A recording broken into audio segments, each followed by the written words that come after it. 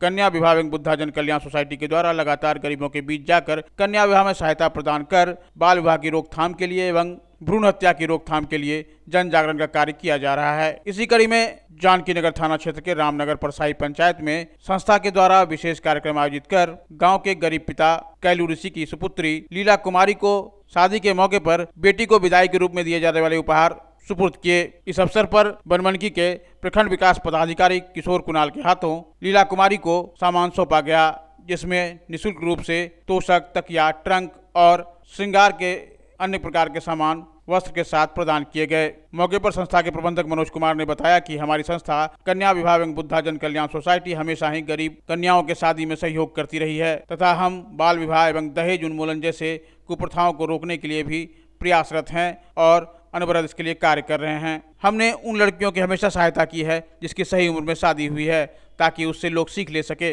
कन्या विवाह एवं बुद्धा जन कल्याण सोसाइटी के द्वारा इससे पूर्व भी संस्था के पूर्णिया इकाई के कार्यालय में आयोजित जन कल्याण कार्यक्रम के तहत महिलाओं को जागरूक कर उन्हें आत्मनिर्भरता प्रदान करने के उद्देश्य से अंजलि स्वयं सहायता समूह का गठन किया गया। जिसमें ज़िले भर के कई प्रखंडों से आई महिलाओं ने अंजलि दीदी के रूप में हिस्सा लिया और विधिवत अंजलि स्वयं सहायता समूह का गठन करते हुए जन जागरण के कार्य के लिए अपने आप को तैयार किया, ताकि महिलाएँ आत्मनिर्भर बन सकें। संस्था के द्वारा किए जा रहे इन कार्यों की हर तरफ़ सराहना हो रही है। कोसी आलोक ब्यूरो, पूर्णिया।